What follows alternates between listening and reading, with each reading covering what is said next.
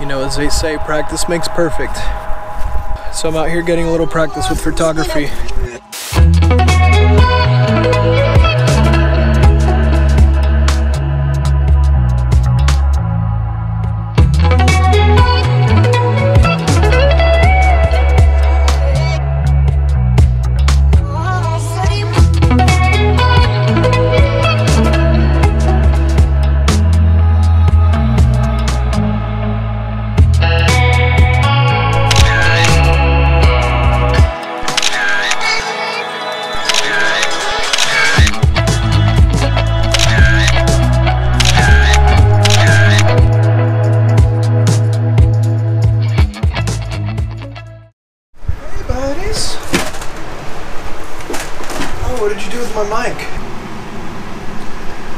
What have you guys done with my microphone? Sabine? Is this you? Hey girl, come here. Come. Milo. Hey buddy, I missed you. Did you like your box that I gave you?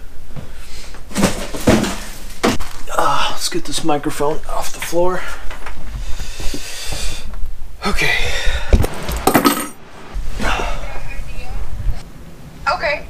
Yeah, send me a screenshot and then just call me when you get a chance so we can keep talking.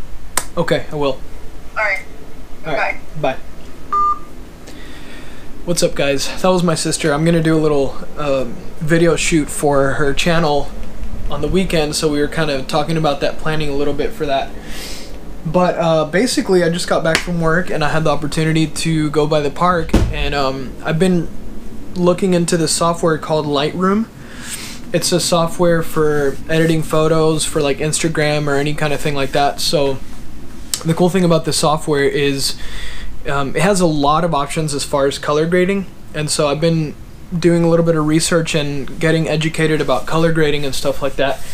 So i kind of want to show you guys i just went out to the park took a couple of photos and uh, so i can get start getting some practice with the color grading and all that. So i kind of want to show you guys real quick what i did. So let's check it out Ah, there we go okay so this is the first picture that I took. It is completely unprocessed, just straight out of the camera. Uh, the camera that I used was on my phone, and this is the processed uh, version of the picture. I've been using uh, an app called Lightroom. It's a really good app.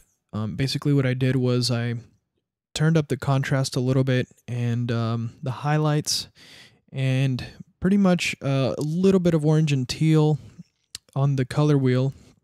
I turned those up a little bit, and then obviously the vignetting. You can see the vignetting on uh, the the picture.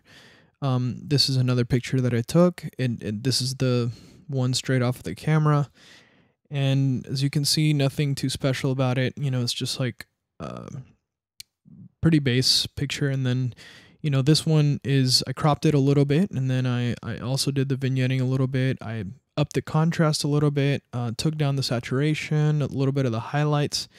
Um, so I was able to make it look a little better. Now, I, as a beginner, I'm not an expert at color grading. I'm still learning a lot. So, as a beginner, you have to be very careful to not overdo it.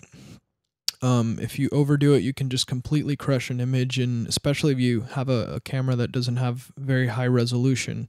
Um, but these are just some other examples of, you know, I'm still learning, like I said, but this, I found this app very, very helpful.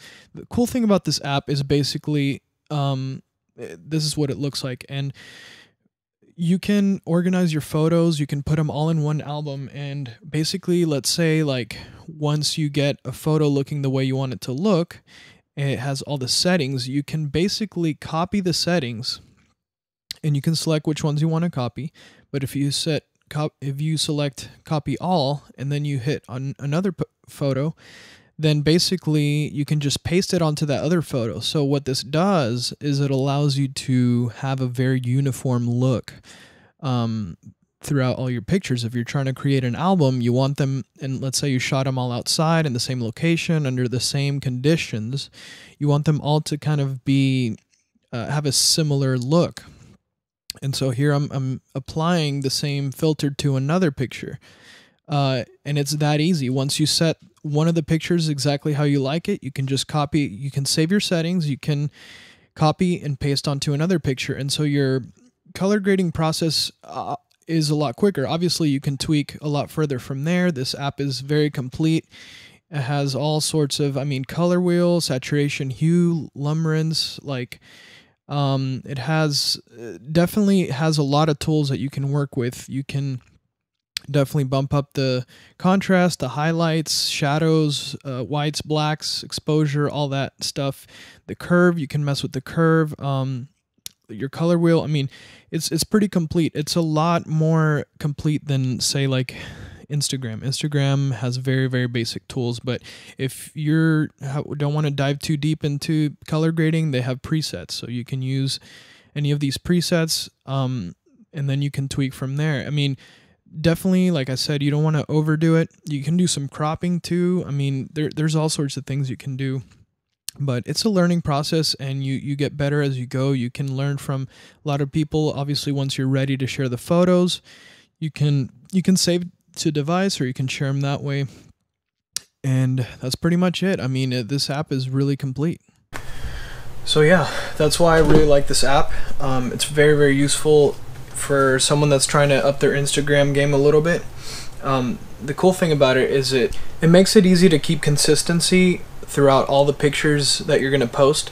If you shot uh, at a location and you're, you're going for a consistent look, this is a really good way to have that consistent look because you can just copy and paste throughout all your pictures and it also has a lot of color grading options. I'm still learning a lot about uh, color this color grading and there's a lot that entails that it entails but the cool thing is it, it's a very good tool. It's free, and um, I would highly recommend it for anyone that's trying to uh, learn a little bit about color grading. It goes right on your phone. It's very easy to save pictures. So I'm gonna keep experimenting with it. I'm gonna keep learning on it, and uh, I would also recommend to you guys uh, DaVinci Resolve. If you're looking for software to edit videos, it's very very good. It's got a lot of the features that Adobe Premiere and Final Cut Pro are going to have.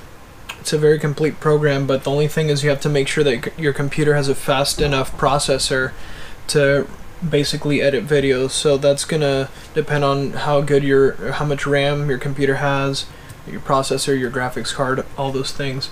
But it's a very good starting point for anyone that wants to start editing videos.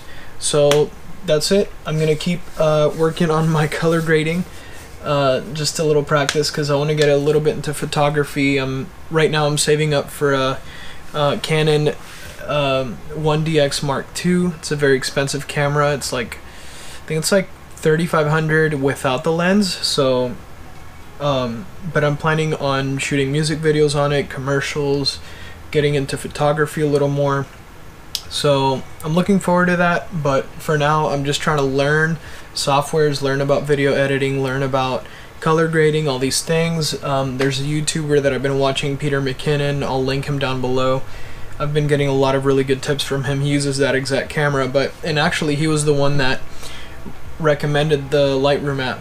So I would recommend it for anyone that's trying to do a little better on Instagram and um, because the Instagram's good and it has good filters, but it's very limited what you can do on Instagram as far as like getting a, a picture the way you want it to look, exactly the way you want it to look. So also it's a bit of a challenge because whenever you're starting the you have the tendency to you know to crank up too much saturation or to kind of like go overboard with the effects and subtlety is key you always when you color grade you want to make sure that you're making subtle changes and also, the best thing to do is to take pictures in a flat profile. So if your camera has the option to shoot in log or uh, with a flat profile, you do you shoot it with that. You take away all presets and all um, filters, if you will, and then you take it into a software like Lightroom, and that's where you really fine tune, and then you can get that perfect image you want. Now, a lot of it is personal preference. You just gotta play with it and uh, make sure that um, make sure you get it exactly the way you want it. Um, so there's some basic things that you can learn about color grading. For example, for skin tones, uh, orange and teal are two opposite color, uh, two opposite colors in the color wheel. So I've learned that for better skin tones, you know, it's good to kind of like separate those spectrums a little bit. But yeah, there's a lot to learn about this, but I'm having a lot of fun doing it. Um, it's very interesting. I love the science behind it. And uh, speaking of science, that's why I really like uh, Canon cameras because their color science is really good straight off the camera if you're not wanting to do a lot of color grading in post if you just want to take a picture and it looks pretty good with without any kind of color grading I recommend Canon cameras. But yeah I just wanted to show you guys kind of like my learning process and hopefully one day I can look back at this video and see how much I progressed and how much how better I've gotten. The thing is like I'm trying to get better every day. So yeah hopefully you guys found this helpful in some way. Hopefully this app can can really help you guys create some better pictures and stuff like that. So I'll see you guys next time.